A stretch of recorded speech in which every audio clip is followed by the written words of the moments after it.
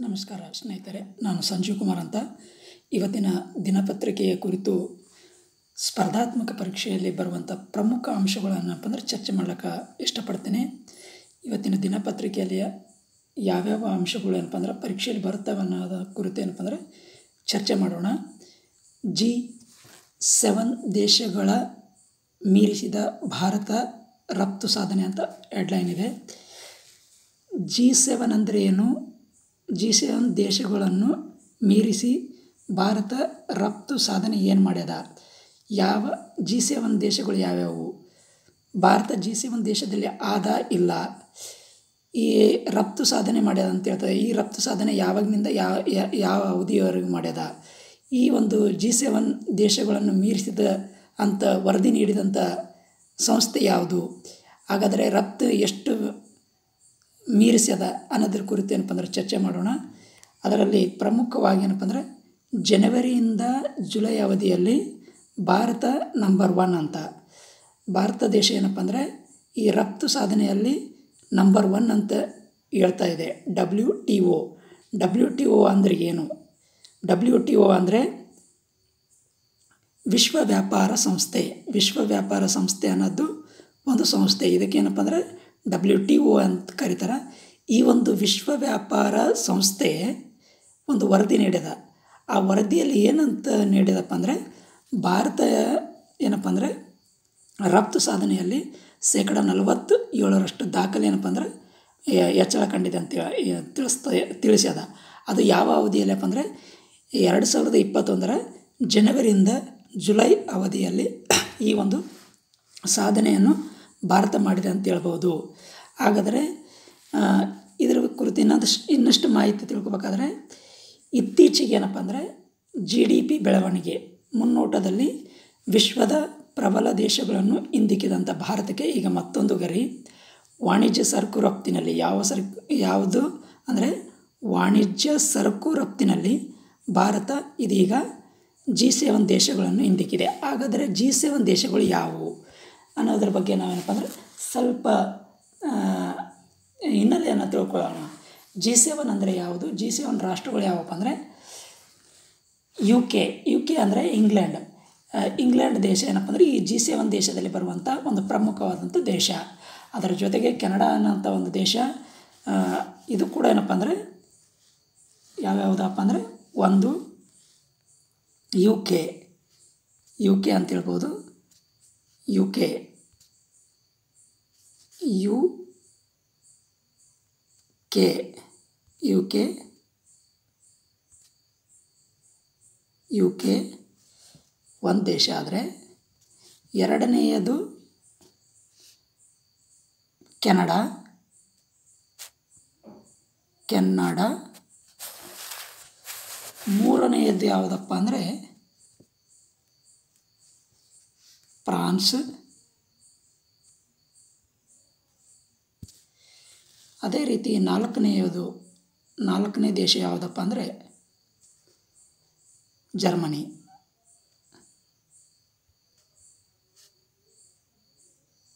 Germany. ಐದನೇ ದೇಶ ಯಾವುದಪ್ಪ ಅಂದರೆ ಇಟಲಿ. ಇಟಲಿ ಆರನೇ ದೇಶ ಯಾವುದಪ್ಪ ಅಂದರೆ ಜಪಾನ್ ಜಪಾನ್. ಏಳನೇ ದೇಶ ಯಾವುದಪ್ಪ ಅಂದರೆ ಅಮೇರಿಕಾ. ಅಮೇರಿಕಾ. ಏಳನೇದು ಅಮೇರಿಕಾ. ಈ ರೀತಿ ಏನಪ್ಪ ಅಂದರೆ ದೇಶಗಳನ್ನು ನಾವು ಕಾಣಬಹುದು. ಈ ಏಳು ರಾಷ್ಟ್ರಗಳು ಏನಪ್ಪ ಅಂದರೆ ಸೇರಿಕೊಂಡು ಮಾಡಿಕೊಂಡಿರುವಂಥ ಒಂದು ಒಕ್ಕೂಟಕ್ಕೆ ಏನಪ್ಪ ಅಂದರೆ ಜಿ ಸೆವೆನ್ ಒಕ್ಕೂಟ ಅಂತ ಕರೆಯುತ್ತಾರೆ. ಈ ಜಿ ಸೆವೆನ್ ರಾಷ್ಟ್ರಗಳು ಏನಾವಲ್ಲ ಜಗತ್ತಿನಲ್ಲಿ ಎರಡನೇ ಮಹಾಯುದ್ಧದ ನಂತರ ರೂಪುಗೊಂಡಂಥ ವಿವಿಧ ಜಾಗತಿಕ, ಪ್ರಾದೇಶಿಕ ಸಂಘಟನೆಗಳಲ್ಲಿ ಜಿ ಸೆವೆನ್ ರಾಷ್ಟ್ರಗಳ ಸಂಘಟನೆ ಏನಪ್ಪ ಅಂದರೆ ಮುಖ್ಯವಾಗಿರುವಂಥದ್ದು. ಜಿ ಸೆವೆನ್ ರಾಷ್ಟ್ರಗಳ ಸಂಘಟನೆಯು ಹುಟ್ಟು ಬೆಳವಣಿಗೆ ವಿವಿಧ ಶೃಂಗಸಭೆಗಳ ಬಗ್ಗೆ ಏನಪ್ಪ ಅಂದರೆ ನಾವಿನ್ನೂ ಸಾಂಕ್ಷ್ ಸಂಕ್ಷಿಪ್ತವಾಗಿ ಚರ್ಚೆ ಮಾಡೋಣ. ವಿಶ್ವದ ಒಟ್ಟು ಜನಸಂಖ್ಯೆಯಲ್ಲಿ ಏನಪ್ಪ ಅಂದರೆ ಶೇಕಡ ಶೇಕಡ ಎಷ್ಟು ಶೇಕಡ ಹದಿನೈದರಷ್ಟು ಪಾಲನ್ನು ಹೊಂದಿದೆ ಒಟ್ಟು ಜನಸಂಖ್ಯೆಯಲ್ಲಿ.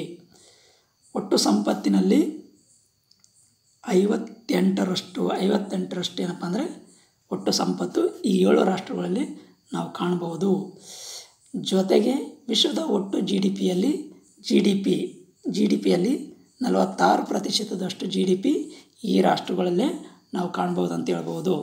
ಇವು ಏನಪ್ಪ ಅಂದರೆ ಜಿ ಸೆವೆನ್ ರಾಷ್ಟ್ರದಲ್ಲಿ ಇರುವಂಥ ಪ್ರಮುಖ ಅಂಶಗಳಂತ ಹೇಳ್ಬೋದು.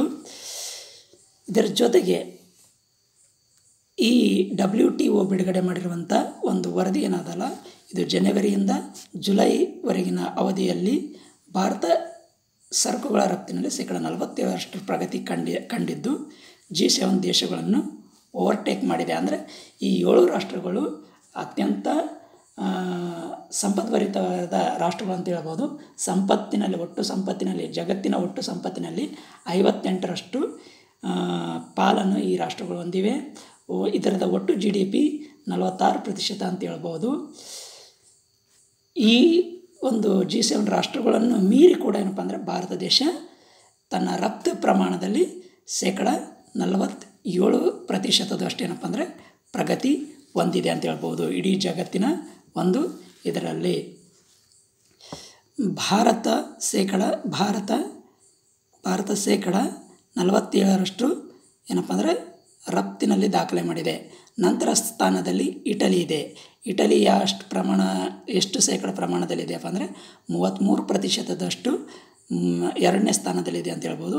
ಅದೇ ರೀತಿಯಾಗಿ ಕೆನಡಾ ಕೂಡ ಏನಪ್ಪ ಅಂದರೆ ಮೂವತ್ತು ಎರಡನೇ ಮೂವತ್ತೆರಡು ಪ್ರತಿಶತದಷ್ಟು ರಫ್ತು ಮಾಡುವಂಥ ದೇಶಗಳ ಪಟ್ಟಿಯಲ್ಲಿ ನಾವು ನೋಡ್ಬೋದು. ಮೊದಲ ಮೂರು ಸ್ಥಾನಗಳೇನಪ್ಪ ಅಂದರೆ ಈ ಈ ಈ ಈ ದೇಶಗಳನ್ನು ಈ ದೇಶಗಳು ಹೊಂದಿವೆ ಅಂತ ಹೇಳ್ಬೋದು.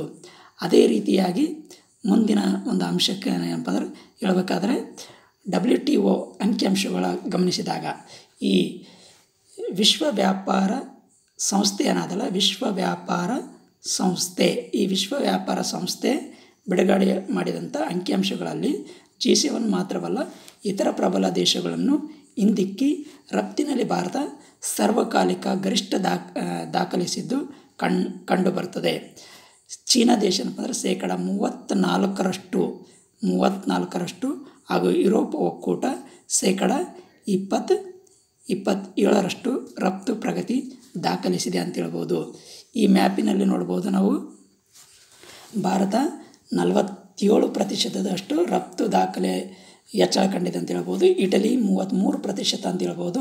ಅದೇ ರೀತಿಯಾಗಿ ಅದೇ ರೀತಿಯಾಗಿ ಕೆನಡಾ ಏನಪ್ಪ ಅಂದರೆ ಮೂವತ್ತೆರಡು ಪ್ರತಿಶತದಷ್ಟು, ಫ್ರಾನ್ಸ್ ಇಪ್ಪತ್ತೇಳರಷ್ಟು, ಜರ್ಮನಿ ಇಪ್ಪತ್ತಾರರಷ್ಟು, ಜಪಾನ್ ಇಪ್ಪತ್ತೈದರಷ್ಟು, ಅಮೇರಿಕಾ ಇಪ್ಪತ್ತ್ನಾಲ್ಕರಷ್ಟು ಇಟಲಿ ಏನಪ್ಪ ಅಂದರೆ ಬ್ರಿಟನ್ ಏನಪ್ಪ ಅಂದರೆ ಇಪ್ಪತ್ತು ಪ್ರತಿಶತದಷ್ಟು ರಫ್ತು ವಹಿವಾಟಿನಲ್ಲಿ ಏನಪ್ಪ ಅಂದರೆ ಭಾಗಿಯಾಗಿವೆ ಅಂತ ಹೇಳ್ಬೋದು. ಇದು ಜನವರಿಯಿಂದ ಜುಲೈವರೆಗಿನ ಅವಧಿಯಲ್ಲಿ ಅಂತ ಹೇಳ್ಬೋದು. ಜನವರಿ ಎರಡು ಸಾವಿರದ ಇಪ್ಪತ್ತರಿಂದ ಜುಲೈ, ಜನವರಿ ಜುಲೈ ಅವಧಿ ಎರಡು ಸಾವಿರದ ಇಪ್ಪತ್ತು, ಇಪ್ಪತ್ತೊಂದರ ಒಂದು ಇದರಲ್ಲಿ ಕಾಣಬಹುದು. ಇನ್ನು ಮುಂದಿನ ಅಂಶಕ್ಕೆ ಬರೋಣ. ಮುಂದಿನ ಅಂಶದಾಗ ಏನಪ್ಪ ಅಂದರೆ ಐವತ್ತು ಸಾವಿರ ಕಿಲೋಮೀಟ್ರ್ ದಾಳಿಯ ಅಗ್ನಿ ಫೈವ್ ಕ್ಷಿಪಣಿ ಯಶಸ್ವಿ ಅಂತದ, ಚೀನಕ್ಕೆ ಪರೋಕ್ಷ ಎಚ್ಚರಿಕೆ ಅಂತದ, ಜಗತ್ತಿಗೆ ಅಚ್ಚರಿ ಚೀನಾ ಮಸಲತ್ತು ಅಂತ ಈ ಪ್ರಮುಖವಾದಂಥ ಅಂಶಗಳನ್ನು ನಾವು ಗಮನಿಸಬಹುದು. ಇದರಲ್ಲಿ ಏನಪ್ಪ ಅಂದರೆ, ನಾವು ಅಗ್ನಿ ಫೈವ್ ಏನಪ್ಪ ಅಂದರೆ, ಈ ಈ ಅಗ್ನಿ ಫೈವ್ ಏನಪ್ಪ ಅಂದರೆ, ಐದು ಕಿಲೋಮೀಟರ್ ವ್ಯಾಪ್ತಿಯಲ್ಲಿ ಇರುವಂಥ ಯಾವುದೇ ಕ್ಷಿಪಣಿಗಳನ್ನು ಯಶಸ್ವಿಯಾಗಿ ದಾಳಿ ಮಾಡುವ ಬಲ್ಲಂತ ದಾಳಿ ಮಾಡಬಲ್ಲಂಥ ಒಂದು ಕ್ಷಿಪಣಿಯಾಗಿದೆ ಅಂತ ಹೇಳ್ಬೋದು. ಹಾಗಾದರೆ ಅಗ್ನಿ ಒನ್ ಅಗ್ನಿ ಟೂ ಅಗ್ನಿ ತ್ರೀ ಅಗ್ನಿ ಫೋರ್ ಅಗ್ನಿ ಫೈವ್ ಈ ರೀತಿಯಾದಂಥ ಒಂದು ಸರಣಿಯನ್ನು ನೋಡಬಹುದು. ಅದರಲ್ಲಿ ಮೊದಲನೇದಾಗಿ ಅಗ್ನಿ ಒನ್ ಅಗ್ನಿ ಒನ್ ಏನಾದಲ್ಲ, ಇದು ಏಳುನೂರರಿಂದ ಏಳ್ನೂರರಿಂದ ಏಳ್ನೂರರಿಂದ ಒಂದು ಸಾವಿರದ ಎರಡು ನೂರ ಐವತ್ತು ಕಿಲೋಮೀಟರ್. ಕಿಲೋಮೀಟ್ರ್ವರೆಗೆ ಏನಪ್ಪ ಅಂದರೆ ದಾಳಿ ಅಂತ ಒಂದು ಕ್ಷಿಪಣಿಯಾಗಿದೆ ಅಂತ ಹೇಳ್ಬೋದು. ಎರಡನೆಯದು ಎರಡನೇದು ಏನಪ್ಪ ಅಂದರೆ ಎರಡನೇದು ಅಗ್ನಿ ಟು. ಇದೇನಪ್ಪ ಅಂದರೆ ಎರಡು ಸಾವಿರ ಎರಡು ಸಾವಿರ, ಎರಡು ಸಾವಿರದಿಂದ ಎರಡು ಸಾವಿರದಿಂದ ಮೂರು ಸಾವಿರದ ಮೂರು ಸಾವಿರದ ಐದುನೂರು ಐದುನೂರು ಐದುನೂರು ಕಿಲೋಮೀಟ್ರ್ವರೆಗಿನ ದಾಳಿ ಮಾಡಬಲ್ಲದು ಅಂತ ಹೇಳ್ಬೋದು. ಅಗ್ನಿ ಒನ್ ಅಗ್ನಿ ಟು ಅಗ್ನಿ ತ್ರೀಯನ್ನು ನೋಡಿದಾಗ ಅಗ್ನಿ ತ್ರೀ ಅಗ್ನಿ ತ್ರೀ ಕ್ಷಿಪಣಿಯನ್ನು ನಾವು ನೋಡಿದಾಗ ಅಗ್ನಿ ತ್ರೀ ಅಗ್ನಿ ತ್ರೀ ಅಗ್ನಿ ತ್ರೀ ಏನಿದೆಯಲ್ಲ, ಈ ಅಗ್ನಿ ತ್ರೀ ಮೂರು ಸಾವಿರದ ಐದುನೂರರಿಂದ ಮೂರು ಸಾವಿರದ ಐದುನೂರರಿಂದ ಮೂರು ಸಾವಿರದ ಐದುನೂರರಿಂದ ಐದು ಸಾವಿರ ಐದು ಸಾವಿರ ಐದು ಸಾವಿರ ವರೆಗೇನಪ್ಪ ಅಂದರೆ ದಾಳಿ ಮಾಡಬಲ್ಲಂಥ ಒಂದು ಸಾಮರ್ಥ್ಯ ಹೊಂದಿರುವಂಥ ಕ್ಷಿಪಣಿಯಾಗಿದೆ. ಅದೇ ರೀತಿಯಾಗಿ ನಾಲ್ಕನೇ ಅಗ್ನಿ ಫೈವ್ ಅಗ್ನಿ ಅಗ್ನಿ ಫೋರ್ ಅಗ್ನಿ ಫೋರ್ ಅಂದರೆ ಇದು ಮೂರು ಸಾವಿರದಿಂದ ಮೂರು ಸಾವಿರದಿಂದ ಮೂರು ಸಾವಿರದಿಂದ ನಾಲ್ಕು ಸಾವಿರ ನಾಲ್ಕು ಸಾವಿರ. ನಾಲ್ಕು ಸಾವಿರದವರೆಗೂ ಏನಪ್ಪ ಅಂದರೆ ದಾಳಿ ಮಾಡುವಂಥ ಒಂದು ಸಾಮರ್ಥ್ಯ ಹೊಂದಿರುವಂಥ ಕ್ಷಿಪಣಿಯಾಗಿದೆ ಅಂತ ಹೇಳ್ಬೋದು. ಈಗ ಅಗ್ನಿ ಫೈವ್ ಅಗ್ನಿ ಫೈವ್ ಏನು ಕ್ಷಿಪಣಿ ಇದೆಯಲ್ಲ ಈ ಅಗ್ನಿ ಫೈವ್ ಕ್ಷಿಪಣಿ ಏನಪ್ಪ ಅಂದರೆ ಐದು ಸಾವಿರ ಕಿಲೋಮೀಟರ್ ವ್ಯಾಪ್ತಿಯಲ್ಲಿ ಬರುವಂಥ ಯಾವುದೇ ಒಂದು ದಾಳಿಯನ್ನು ಯಶಸ್ವಿಯಾಗಿ ಯಶಸ್ವಿಯಾಗಿ ಏನಪ್ಪ ಅಂದರೆ ಸಾಮರ್ಥ್ಯವಾಗಿ ಎದುರಿಸುವಂಥ ಒಂದು ಕ್ಷಿಪಣಿಯಾಗಿದೆ ಅಂತ ಹೇಳ್ಬೋದು. ಈ ಒಂದು ಕ್ಷಿಪಣಿ ಎಲ್ಲಿ ಉಡಾವಣೆ ಮಾಡ್ತಾರಪ್ಪ ಅಂದರೆ ಇದು ಭಾರತ ದೇಶದ ರಕ್ಷಣಾ ಕ್ಷೇತ್ರದಲ್ಲಿ ಮೂರು ಪಡೆಗಳಿಗೆ ಏನಪ್ಪ ಅಂದರೆ ಅತ್ ಆಧುನಿಕ ಯುದ್ಧ ಸಾಧನ ಸಾಮಗ್ರಿಗಳನ್ನು, ಅಗ್ನಿ ಅಸ್ತ್ರಗಳನ್ನು ಸಂಶೋಧಿಸುವ ಮತ್ತು ಅಭಿವೃದ್ಧಿಪಡಿಸುವಂಥ ಸಂಸ್ಥೆ ಇದೆ. ಆ ಸಂಸ್ಥೆ ಯಾವುದಪ್ಪ ಅಂದರೆ ಡಿ ಆರ್ ಡಿ ಒ.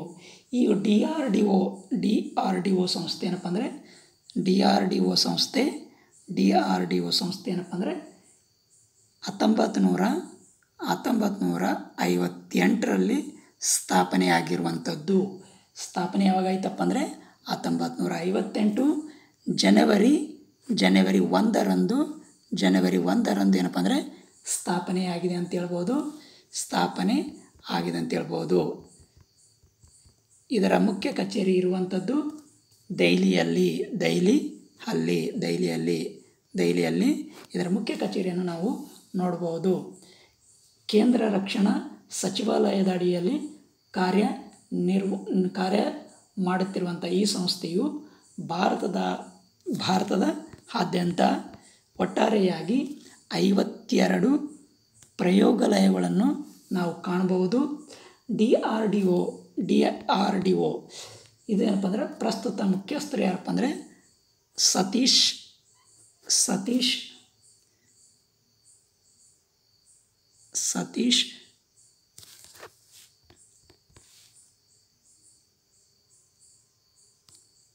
ಸತೀಶ್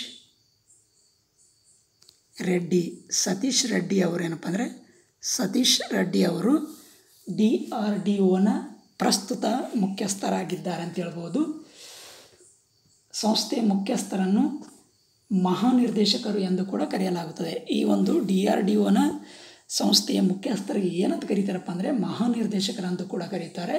ಪ್ರಸ್ತುತ ಮುಖ್ಯಸ್ಥರು ಯಾರಪ್ಪ ಅಂದರೆ ಡಾಕ್ಟರ್ ಸತೀಶ್ ರೆಡ್ಡಿ ಅಂತ ಹೇಳ್ಬೋದು ಡಾಕ್ಟರ್ ಸತೀಶ್ ರೆಡ್ಡಿ ಅಂತ ಹೇಳ್ಬೋದು ಡಿ ಆರ್ ಡಿ ಒ ಸಂಸ್ಥೆಯು ಎರಡು ಸಾವಿರದ ಇಪ್ಪತ್ತೊಂದ ಅನ್ನು ರಫ್ತು ವರ್ಷವೆಂದೇ ಘೋಷಿಸಿಕೊಂಡಿದೆ ಅಂತ ಹೇಳ್ಬೋದು. ಘೋಷಣೆ ಮಾಡಿಕೊಂಡಿದೆ ಅಂತ ಹೇಳ್ಬೋದು. ಇವಿಷ್ಟೇನಪ್ಪ ಅಂದರೆ ಈ ಒಂದು ವಿಷಯಕ್ಕೆ ಸಂಬಂಧಪಟ್ಟಂತೆ ಪ್ರಮುಖವಾಗಿರುವಂಥ ವಿಷಯಗಳು. ಮುಂದಿನ ಸುದ್ದಿಯನ್ನು ನೋಡೋಣ. ಚೀನಾ ಗಡಿ ರಕ್ಷಣೆಗೆ ಹೊಸ ಕಾಯಿದೆ ಅಂತ ಒಂದು ಇವತ್ತಿನ ಪ್ರಮುಖವಾದಂಥ ಸುದ್ದಿಗಳಲ್ಲಿ ಪ್ರಮುಖವಾಗಿರುವಂಥ ವಿಷಯ. ಈ ಗಡಿ ವಿವಾದ ಅಥವಾ ಗಡಿ ಕುರಿತು ಏನಪ್ಪ ಅಂದರೆ ನಾವು ಚರ್ಚೆ ಮಾಡಬೇಕಾದ್ರೆ ಭಾರತ ದೇಶ ಭಾರತ ದೇಶ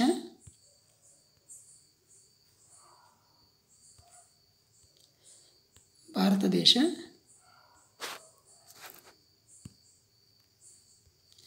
ಒಟ್ಟಾರೆಯಾಗಿ ಹದಿನೈದು ಸಾವಿರದ ಎರಡುನೂರು ಕಿಲೋಮೀಟರ್ ಗಡಿಯನ್ನು ಹೊಂದಿದೆ. ಭಾರತ ದೇಶ ಏನಪ್ಪ ಅಂದರೆ ಒಟ್ಟಾರೆಯಾಗಿ ಹದಿನೈದು ಸಾವಿರದ ಎರಡುನೂರು ಕಿಲೋಮೀಟರ್ ಕಿಲೋಮೀಟ್ರ್ ಗಡಿಯನ್ನು ಏನಪ್ಪ ಅಂದರೆ ಭೂಗಡಿ ಅದು. ಭೂಗಡಿಯನ್ನು ಹೊಂದಿದೆ ಜಲಗಡಿ ಕುರಿತು ಇನ್ನೇ ಮುಂದಿನ ದಿನಗಳಲ್ಲಿ ಚರ್ಚೆ ಮಾಡೋಣ. ಈಗೇನಪ್ಪ ಅಂದರೆ ಭೂಗಡಿ ಕುರಿತು ಏನಪ್ಪ ಅಂದರೆ ಚರ್ಚೆ ಮಾಡೋಣ. ಭೂಗಡಿ ಏನಪ್ಪ ಅಂದರೆ ಏಳು ದೇಶಗಳೊಂದಿಗೆ ಭಾರತ ದೇಶ, ಹದಿನೈದು ಸಾವಿರದ ಎರಡು ನೂರು ಕಿಲೋಮೀಟರ್ ಗಡಿಯನ್ನು ಹೊಂದಿದೆ. ಎಷ್ಟು ದೇಶಗಳೊಂದಿಗೆ ಅಂದರೆ ಏಳು ದೇಶಗಳೊಂದಿಗೆ ಏಳು ದೇಶಗಳೊಂದಿಗೆ ಏಳು ದೇಶಗಳೊಂದಿಗೆ ಏನಪ್ಪ ಅಂದರೆ ಭೂಗಡಿಯನ್ನು ಹೊಂದಿದೆ ಆ ಭೂಗಡಿ ಹದಿನೈದು ಸಾವಿರದ ಎರಡು ನೂರು ಕಿಲೋಮೀಟ್ರ್ ಆಗಿದೆ. ಅದರಲ್ಲಿ ಅದರಲ್ಲಿ ಅದರಲ್ಲಿ ಚೀನಾ ದೇಶ ಅದರಲ್ಲಿ ಚೀನಾ ದೇಶ ಅದರಲ್ಲಿ ಚೀನಾ ದೇಶ ಗಡಿ ಎಷ್ಟಪ್ಪ ಅಂದರೆ ಭಾರತ ಮತ್ತು ಚೀನಾದ ನಡುವಿನ ಗಡಿ ಮೂರು ಸಾವಿರದ ನಾನ್ನೂರ ಎಂಬತ್ತೆಂಟು ಕಿಲೋಮೀಟ್ರ್ ಆಗಿದ್ದು ಆಗಿದೆ. ಒಟ್ಟಾರೆಯಾಗಿ ಹದಿನೈದು ಸಾವಿರದ ಎರಡುನೂರು ಕಿಲೋಮೀಟ್ರಲ್ಲಿ ಭಾರತ ಮತ್ತು ಚೀನಾದ ನಡುವೆ ಮೂರು ಸಾವಿರದ ನಾನ್ನೂರ ಎಂಬತ್ತೆಂಟು ಕಿಲೋಮೀಟ್ರ್ ಗಡಿಯನ್ನು ಹೊಂದಿದ್ದು, ಈ ಒಂದು ಗಡಿ ರೇಖೆಯನ್ನು ಏನಂತ ಕರೀತಾರಪ್ಪ ಅಂದರೆ ಮ್ಯಾಕ್ ಮೋಹನ್ ಗಡಿ ರೇಖೆ ಅಂತ ಕರೀತಾರೆ. ಈ ಭಾರತ ದೇಶ ಅತ್ಯಂತ ಹೆಚ್ಚು ಗಡಿ ಹೊಂದಿರುವುದು ಬಾಂಗ್ಲಾದೇಶದೊಂದಿಗೆ.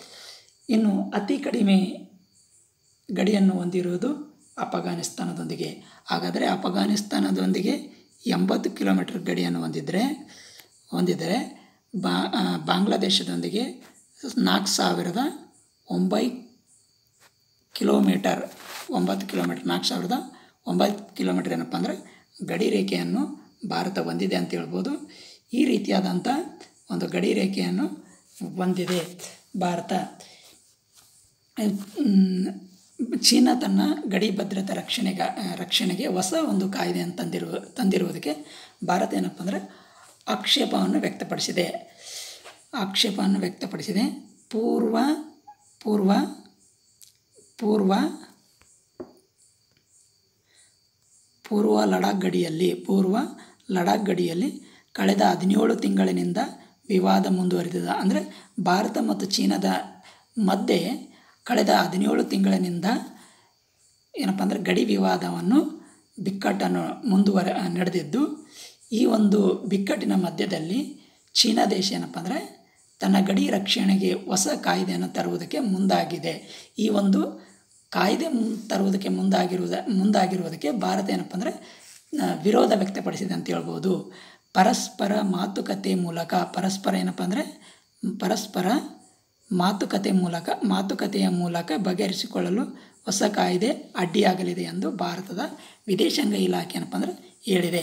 ಭಾರತದ ವಿದೇಶಾಂಗ ಇಲಾಖೆ ಏನು ಮಾಹಿತಿ ನೀಡಿದೆಪ್ಪ ಅಂದರೆ, ಈ ಹೊಸ ಒಂದು ಕಾಯ್ದೆಯಿಂದಾಗಿ ಭಾರ ಪರಸ್ಪರ ಮಾತುಕತೆ ಮೂಲಕ ಬಗೆಹರಿಸಿಕೊಳ್ಳಲಿಕ್ಕೆ ಸಾಧ್ಯ ಆಗುವುದಿಲ್ಲ ಅನ್ನೋ ಒಂದು ಮಾತನ್ನು ಭಾರತ ಹೇಳ್ತಾ ಇದೆ. ಸಾವಿರದ ಒಂಬೈನೂರ ಅರವತ್ತ್ಮೂರರ ಗಡಿ ಒಪ್ಪಂದವನ್ನೇ ಭಾರತ ಒಪ್ಪಿಲ್ಲ. ಸಾವಿರದ ಒಂಬೈನೂರ ಅರವತ್ತ್ಮೂರದಾಗೂ ಕೂಡ ಏನಪ್ಪ ಅಂದರೆ ಚೀನಾ ಮತ್ತು ಭಾರತದ ಮಧ್ಯೆ ಒಂದು ಒಪ್ಪಂದವಾಗಿರ್ತದೆ. ಗಡಿ ಗಡಿ ಒಪ್ಪಂದ. ಆ ಗಡಿ ಒಪ್ಪಂದವನ್ನು ಕೂಡ ಏನಪ್ಪ ಅಂದರೆ ಭಾರತ ಒಪ್ಪಿಕೊಂಡಿಲ್ಲ ಅನ್ನೋ ಮಾತನ್ನು ಇಲ್ಲಿ ಪ್ರಸ್ತಾವನೆ ಮಾಡಲಾಗಿದೆ ಅಂತ ಹೇಳ್ಬೋದು. ಚೀನಾ ತನ್ನ ಗಡಿ ಭಾಗದಲ್ಲಿ ಆರ್ಥಿಕ ಮತ್ತು ಸಾಮಾಜಿಕ, ಆರ್ಥಿಕ ಮತ್ತು ಸಾಮಾಜಿಕ ಚಟುವಟಿಕೆಗಳನ್ನು ಮುಂದುವರಿಸಲು ಹೊಸ ಕಾಯ್ದೆ ಮೂಲಕ ಅನುಮೋದನೆ ಪಡೆದಿದೆ. ಚೀನಾ ಏನು ಮಾಡ್ತಾ ಇದೆಯಪ್ಪ ಅಂದರೆ, ತನ್ನ ಗಡಿ ಭಾಗದಾಗ ಏನಪ್ಪ ಅಂದರೆ, ಆರ್ಥಿಕ ಚಟುವಟಿಕೆಗಳನ್ನು ಮತ್ತು ಸಾಮಾಜಿಕ ಚಟುವಟಿಕೆಗಳನ್ನು ಮುಂದುವರಿಸ್ಕೊಂಡು ಮೂಲಕ ಈ ಒಂದು ಹೊಸ ಕಾಯ್ದೆ ಮೂಲಕ ಅನುಮೋದನೆ ಅಪ್ರೂವ್ ಪಡೆಯುವ ಅಂತ ಪಡೆದಿದೆ ಅಂತ ಹೇಳ್ಬೋದು. ಅಫಘಾನಿಸ್ತಾನ ಅಫಘಾನಿಸ್ತಾನ ಸ್ಥಾನದಲ್ಲಿ ತಾಲಿಬಾನ್ ಅಧಿಕಾರಕ್ಕೆ ಬಂದ ಮೇಲೆ ಜಾಗತಿಕ ಮಟ್ಟದಲ್ಲಿ ರಾಜಕೀಯ ಬದಲಾವಣೆಗಳು ಬಂದಿವೆ. ಅಂದರೆ ಜಾಗತಿಕ ಮಟ್ಟದಲ್ಲಿ, ಜಗತ್ತಿನ ಮಟ್ಟದಲ್ಲಿ ಈ ಒಂದು ಅಫಘಾನಿಸ್ತಾನದಲ್ಲಿ ತಾಲಿಬಾನಿಗಳೇನಾರಲ್ಲ ಅವರ ಅಧಿಕಾರಕ್ಕೆ ಬಂದ ಮೇಲೆ ಜಾಗತಿಕ ಮಟ್ಟದಾಗ ಏನಪ್ಪ ಅಂದರೆ ರಾಜಕೀಯ ಬದಲಾವಣೆಗಳು ಕಂಡು ಬಂದಿವೆ ಅಂತ ಹೇಳ್ಬೋದು.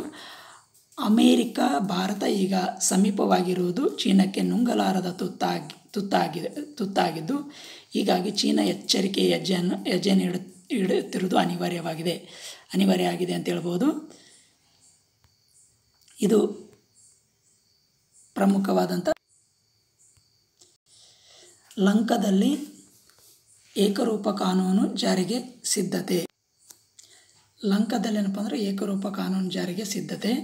ಒಂದು ದೇಶ ಒಂದು ಕಾನೂನು ಜಾರಿಗೆ ಕಾರ್ಯಪಡೆ ರಚನೆ.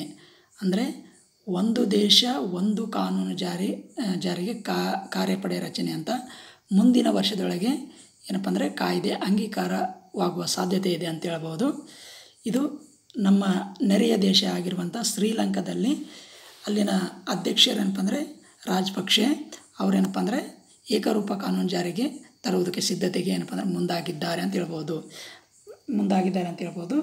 ಭಾರತದಲ್ಲಿ ಏಕರೂಪ ನಾಗರಿಕ ಕಾಯ್ ಸಮಿತಿ ಏನಪ್ಪ ಅಂದರೆ ಜಾರಿ ವಿಷಯದಲ್ಲಿ ಭಾರತ ಇನ್ನೂ ಏನಪ್ಪ ಅಂದರೆ ಚರ್ಚೆ ಹಾಗೂ ವಿವಾದಗಳ ಹಂತದಲ್ಲಿದ್ದೆ ಇದ್ದರೆ ನೆರೆಯ ಶ್ರೀಲಂಕಾ ಇಂಥ ಒಂದು ಕಾನೂನು ಜಾರಿಯಲ್ಲಿ ಒಂದು ಹೆಜ್ಜೆ ಮುಂದಿದೆ. ಒಂದು ದೇಶ ಒಂದು ದೇಶ, ಒಂದು ಕಾನೂನು.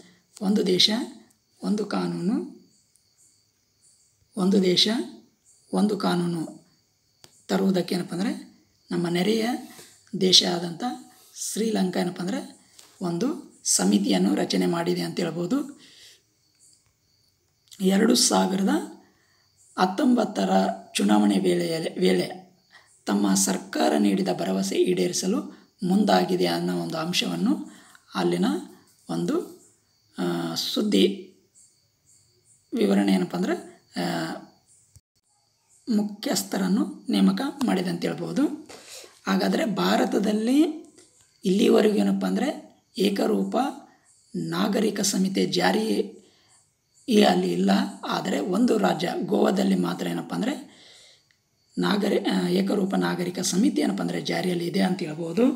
ಭಾರತ ಸಂವಿಧಾನದ ನಲವತ್ತ್ನಾಲ್ಕನೇ ವಿಧಿಯಲ್ಲಿ, ಭಾರತ ಸಂವಿಧಾನದ ಸಂವಿಧಾನದ ನಲವತ್ತ್ನಾಲ್ಕನೇ ವಿಧಿಯಲ್ಲಿ ಏನಪ್ಪ ಅಂದರೆ ಅನ್ವಯ, ನಾಲ್ ವಿಧಿ ಅನ್ವಯ ಎಲ್ಲ ನಾಗರಿಕ ನಾಗರಿಕರಿಗೂ ಹಾಗೂ ಧರ್ಮದವರಿಗೂ ದೇಶದಂತ ಒಂದೇ ರೀತಿಯ ಸಿವಿಲ್ ಸಮಿತಿಯನ್ನು ಜಾರಿಗೆ ತರಬೇಕು, ತರಲಾಗಿದೆ ಅಂತ ತರಲಾಗಿದೆ ಅಂತ ಹೇಳ್ಬೋದು. ಆದರೆ ಇದು ಗೋವಾದಲ್ಲಿ ಮಾತ್ರ ಏನಪ್ಪ ಅಂದರೆ ಏಕರೂಪ ನಾಗರಿಕ ಸಮಿತಿ ಏನಪ್ಪ ಅಂದರೆ ಜಾರಿಯಲ್ಲಿ ಇದೆ ಅಂತ ಹೇಳ್ಬೋದು. ದೇಶಾದ್ಯಂತ ಏನಪ್ಪ ಅಂದರೆ ಇನ್ನೂ ಜಾರಿಯಾಗಿಲ್ಲ.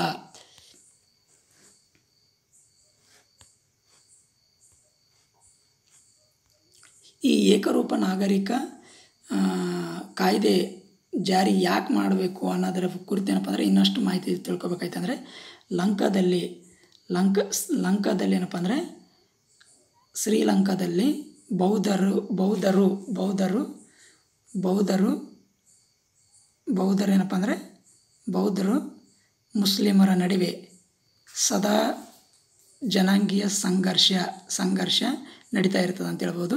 ಮುಸ್ಲಿಮರಿಗೆ ಪ್ರತ್ಯೇಕ ಶರಿಯ ಕಾನೂನು ಇರುವ ಕಾರಣ ಸಮಸ್ಯೆ ಸೃಷ್ಟಿಯಾಗಿದೆ ಅಂತ ಹೇಳ್ಬೋದು. ಎರಡು ಸಾವಿರದ ಹತ್ತೊಂಬತ್ತರಲ್ಲಿ ಈಸ್ಟರ್ ಬಾಂಬ್ ದಾಳಿಯಲ್ಲಿ ಅಂದರೆ ಈಸ್ಟರ್ ಬಾಂಬ್ ದಾಳಿ ಆಗ್ತದೆ ಎರಡು ಸಾವಿರದ ಹತ್ತೊಂಬತ್ತರಲ್ಲಿ. ಅಲ್ಲಿ ಏನಪ್ಪ ಅಂದರೆ ಎರಡು ನೂರ ಎಪ್ಪತ್ತು ಜನರು ಸಾವಾಗ್ತದೆ. ಅದಾದ ನಂತರ ಈ ಕಾನೂನಿಗೆ ಏನಪ್ಪ ಅಂದರೆ ಬೇಡಿಕೆ ಬಂದಿದೆ ಅಂತ ಹೇಳ್ಬೋದು. ಒಂದು ರೀತಿಯ ಒಂದು ರೀತಿಯ ಕಾನೂನಿನ, ಕಾನೂನು ಇದ್ದರೆ ದೇಶಾದ್ಯಂತ ಧಾರ್ಮಿಕ ಸಮಾನತೆ ಬರುವ ನಿರೀಕ್ಷೆ ಇದೆ ಅಂತ ಹೇಳ್ಬೋದು. ಸಂಸತ್ ಸಂಸತ್ ಚುನಾವಣೆ ವೇಳೆ ಇಂಥ ಕಾನೂನು ಜಾರಿ ಬಗ್ಗೆ ಜಾರಿ ಬಗ್ಗೆ ಏನಪ್ಪ ಅಂದರೆ ಭರವಸೆ ನೀಡಿದರು ರಾಜಪಕ್ಷ ಅಂತ ಹೇಳ್ಬೋದು. ಶರಿಯಾ ಕಾನು, ಶರಿಯಾದಿಂದ ಶರಿಯಾದಿಂದ ಮುಸ್ಲಿಮರು ತೀವ್ರಗಾಮಿ ಆಗುತ್ತಿದ್ದಾರೆ ಎಂದು ಬೌದ್ಧರು ಆರೋಪ ಆರೋಪ ಮಾಡಿದ್ದಾರೆ ಅಂತ ಹೇಳ್ಬೋದು. ಒಟ್ಟು ಏನಪ್ಪ ಅಂದರೆ ಈ ಒಂದು ಸಮಿತಿಯನ್ನು ನೇಮಕ ಮಾಡಿದಾರಲ್ಲ, ಒಟ್ಟು ಈ ಈ ಕಾರ್ಯಪಡೆಯಲ್ಲಿ ಈ ಕಾರ್ಯಪಡೆಯಲ್ಲಿ ಏನಪ್ಪ ಅಂದರೆ ಹದಿಮೂರು ಜನ ಹದಿಮೂರು ಜನ ನಾ ಇದ್ದಾರೆ. ಅದರಲ್ಲಿ ನಾಲ್ವರು ಏನಪ್ಪ ಅಂದರೆ ಮುಸ್ಲಿಂ ಮೌಲಿಗಳಿಗೂ ಸ್ಥಾನ ನೀಡಲಾಗಿದೆ ಅಂತ ಹೇಳ್ಬೋದು. ತಮಿಳು ತಮಿಳರಿಗೆ ಯಾವುದೇ ಸ್ಥಾನ ನೀಡಿಲ್ಲ. ಅಂದರೆ ಶ್ರೀಲಂಕಾದಲ್ಲೂ ತಮಿಳರು ಇದ್ದಾರೆ. ಆ ತಮಿಳರಿಗೂ ಕೂಡ ಏನಪ್ಪ ಅಂದರೆ ಇಲ್ಲಿ ಈ ಒಂದು ಕಾರ್ಯಪಡೆಯಲ್ಲಿ ಸ್ಥಾನ ನೀಡಲಾಗಿಲ್ಲ ಅಂತ ಹೇಳ್ಬೋದು. ಒಟ್ಟಾರೆಯಾಗಿ ಹದಿಮೂರು ಜನ ಕಾರ್ಯಪಡೆಯಲ್ಲಿ ಇದ್ದು, ಅದರಲ್ಲಿ ನಾಲ್ಕು ಜನ ಮುಸ್ಲಿಂ ಮೌಲ್ಯಗಳಿಗೆ ಏನಪ್ಪ ಅಂದ್ರೆ ಸ್ಥಾನ ನೀಡಿರ ಅಂತ ಹೇಳ್ಬೋದು. ಈ ಒಂದು ಕಾರ್ಯಪಡೆ, ಇದು ಭಾಳ ಇಂಪಾರ್ಟೆಂಟು. ಈ ಒಂದು ಕಾರ್ಯಪಡೆ ಏಕರೂಪ ಕಾಯ್ದೆ ಬಗ್ಗೆ ಅಧ್ಯಯನ ನಡೆಸ್ತದೆ. ಅಧ್ಯಯನ ನಡೆಸಿ ಏನಪ್ಪ ಅಂದರೆ, ಎರಡು ಸಾವಿರದ ಇಪ್ಪತ್ತೆರಡು, ಎರಡು ಸಾವಿರದ ಇಪ್ಪತ್ತೆರಡು ಫೆಬ್ರವರಿ ಇಪ್ಪತ್ತೆಂಟರಂದು ತನ್ನ ವರದಿಯನ್ನು ಸರ್ಕಾರಕ್ಕೆ ಸಲ್ಲಿಸಲಿದೆ. ಸರ್ಕಾರಕ್ಕೆ ಯಾವಾಗ ತನ್ನ ವರದಿಯನ್ನು ಸಲ್ಲಿಸ್ತದಪ್ಪ ಅಂದರೆ ಎರಡು ಸಾವಿರದ ಇಪ್ಪತ್ತೆರಡು ಫೆಬ್ರವರಿ ಇಪ್ಪತ್ತೆಂಟರಂದು ಈ ಒಂದು ಹದಿಮೂರು ಜನರ ಕಾರ್ಯಪಡೆ ಏನಪ್ಪ ಅಂದರೆ ಅಧ್ಯಯನ ಮಾಡಿ ಏಕರೂಪ ಕಾಯ್ದೆ ಬಗ್ಗೆ ಏನಪ್ಪ ಅಂದರೆ ತನ್ನ ವರದಿಯನ್ನು ಏನಪ್ಪ ಅಂದರೆ ಸಲ್ಲಿಸಲಿದೆ ಎಂದು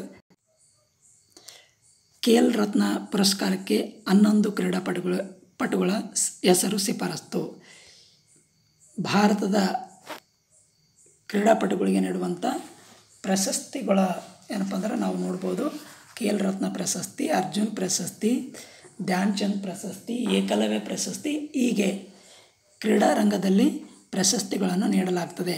ಆ ಒಂದು ಪ್ರಶಸ್ತಿಗೆ ಏನಪ್ಪ ಅಂದರೆ ಕ್ರೀಡಾಪಟುಗಳನ್ನು ಏನಪ್ಪ ಅಂದರೆ ಶಿಫಾರಸು ಮಾಡಲಾಗುತ್ತದೆ ಅದೇ ರೀತಿಯಾಗಿ ಖೇಲ್ ರತ್ನ ಪ್ರಶಸ್ತಿಗೆ ಖೇಲ್ ರತ್ನ ಪ್ರಶಸ್ತಿಗೆ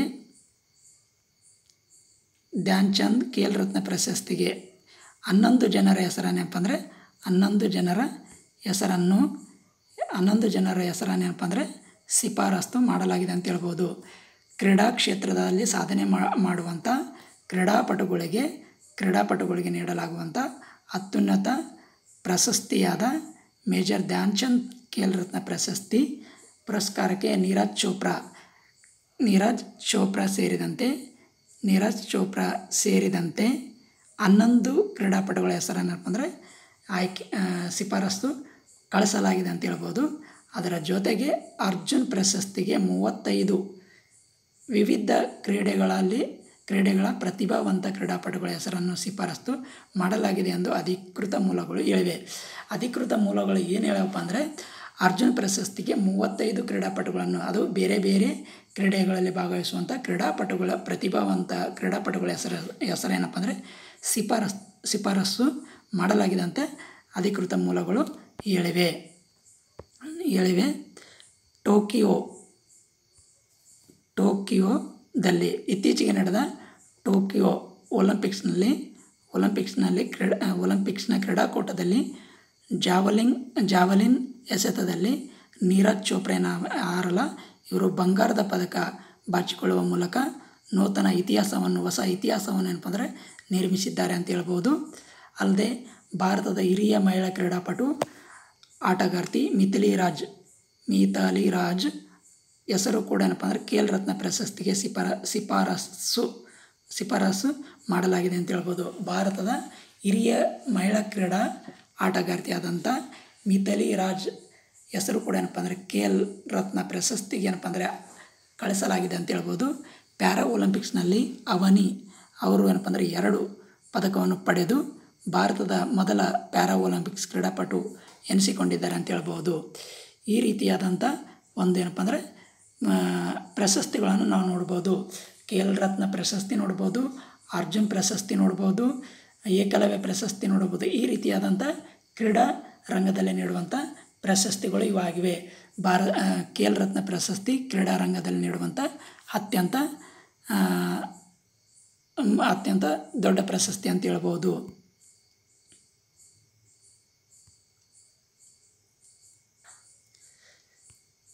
ಇಂಧನ ಸೂಚ್ಯಂಕ ಕರ್ನಾಟಕ ನಂಬರ್ ಒನ್. ಕೇಂದ್ರ ಸರ್ಕಾರ ಕೇಂದ್ರ ಸರ್ಕಾರ ಏನಿದೆಯಲ್ಲ ಕೇಂದ್ರ ಸರ್ಕಾರದಿಂದ ಇದೊಂದು ರ್ಯಾಂಕಿಂಗ್ ಬಿಡುಗಡೆ ಮಾಡಲಾಗ್ತದೆ. ಈ ಒಂದು ರ್ಯಾಂಕಿಂಗ್ನಲ್ಲಿ ಎಪ್ಪತ್ತು ಅಂಕ ಪಡೆಯೋದರ ಮೂಲಕ ರಾಜ್ಯ ಏನಪ್ಪ ಅಂದರೆ ಇಂಧನ ಸೂಚ್ಯಾಂಕದಲ್ಲಿ ಕರ್ನಾಟಕ ನಂಬರ್ ಒನ್ ಆಗಿದೆ ಅಂತ ಹೇಳ್ಬೋದು. ಕೇಂದ್ರ ಇಂಧನ ಒಂದು ಸಚಿವಾಲಯ ಏನಪ್ಪ ಅಂದರೆ ಎರಡು ಸಾವಿರದ ಇಪ್ಪತ್ತರ ಸಾಲಿನ, ಇಪ್ಪತ್ತೊಂದು ಸಾಲಲ್ಲ, ಇಪ್ಪತ್ತನೇ ಸಾಲಿನ ರಾಜ್ಯಗಳ ಇಂಧನ ಸೂಚ್ಯಾಂಕವನ್ನು ಬಿಡುಗಡೆ ಮಾಡಿದ್ದು ಎಪ್ಪತ್ತು ಅಂಕಗಳೊಂದಿಗೆ ಕರ್ನಾಟಕ ಪಟ್ಟಿಯಲ್ಲಿ ಮೊದಲ ಸ್ಥಾನದಲ್ಲಿದೆ ಅಂತ ಹೇಳ್ಬೋದು. ಜೊತೆಗೆ ಈ ಒಂದು ಪಟ್ಟಿ ಯಾವಾಗಿನಿಂದ ಬಿಡುಗಡೆ ಮಾಡ್ಲತ್ತರಪ್ಪ ಅಂದರೆ ಕೇಂದ್ರ ಸರ್ಕಾರ ಎರಡು ಸಾವಿರದ ಹದಿನೆಂಟರಲ್ಲಿ, ಎರಡು ಸಾವಿರದ ಹದಿನೆಂಟರಲ್ಲಿ ಈ ಒಂದು ಸೂಚ್ಯಾಂಕ ಬಿಡುಗಡೆ ಕ್ರಮವನ್ನು ಆರಂಭಿಸಿದೆ ಅಂತ ಹೇಳ್ಬೋದು. ಯಾವ ಕ್ರಮವನ್ನು ಆರಂಭಿಸಿದೆ ಅಂತ ಹೇಳ್ಬೋದಪ್ಪ ಅಂದರೆ ಕೇಂದ್ರ ಸರ್ಕಾರ ಎರಡು ಸಾವಿರದ ಹದಿನೆಂಟರಿಂದ ಈ ಒಂದು ಸೂಚ್ಯಾಂಕ ಬಿಡುಗಡೆ ಮಾಡುವಂಥ ಒಂದು ಕ್ರಮವನ್ನು ಆರಂಭ ಮಾಡಿದೆ ಅಂತ ಹೇಳ್ಬೋದು. ಯಾವುದರ ಮೇಲೆ ಸಮೀಕ್ಷೆ ನಡೆಸ್ತದಪ್ಪ ಅಂದರೆ ಕಟ್ಟಡ ನಿರ್ಮಾಣ, ಕೈಗಾರಿಕೆ ಪುರಸಭೆ, ಸಾರಿಗೆ, ಕೃಷಿ ಮತ್ತು ವಿತರಣಾ ಕಂಪ್ನಿ ಸೇರಿ ಆರು ವಲಯಗಳಿಗೆ ರಾಜ್ಯಗಳು ಒದಗಿಸುವಂಥ ಹಣಕಾಸಿನ ನೆರವು ರೂಪಿಸುವ ನೀತಿ, ನಿಯಮಗಳು ಮತ್ತು ಅವುಗಳಿಂದ ಪಡೆಯುವಂಥ ಉತ್ಪಾದನೆಯ ಲೆಕ್ಕಾಚಾರವನ್ನು ಈ ಸಮೀಕ್ಷೆಗೆ ಏನಪ್ಪ ಅಂದರೆ ಬಳಸಿಕೊಳ್ಳಲಾಗುತ್ತದೆ ಅಂತ ಹೇಳ್ಬೋದು. ಈ ರೀತಿಯಾಗಿ ಏನಪ್ಪ ಅಂದರೆ ಇಂಧನ ಸೂಚ್ಯಾಂಕದಲ್ಲಿ ಕರ್ನಾಟಕ ರಾಜ್ಯವು ನಂಬರ್ ಒನ್ ಸ್ಥಾನದಲ್ಲಿದೆ ಅಂತ ಹೇಳ್ಬೋದು. ಇವೇನಪ್ಪ ಅಂದರೆ ಇವತ್ತಿನ ದಿನಪತ್ರಿಕೆಯ ಪ್ರಮುಖವಾಗಿ ಇರುವಂಥ ಅಂಶಗಳು ಅಂತ ಹೇಳ್ಬೋದು. ನಮಸ್ಕಾರ ಸ್ನೇಹಿತರೆ.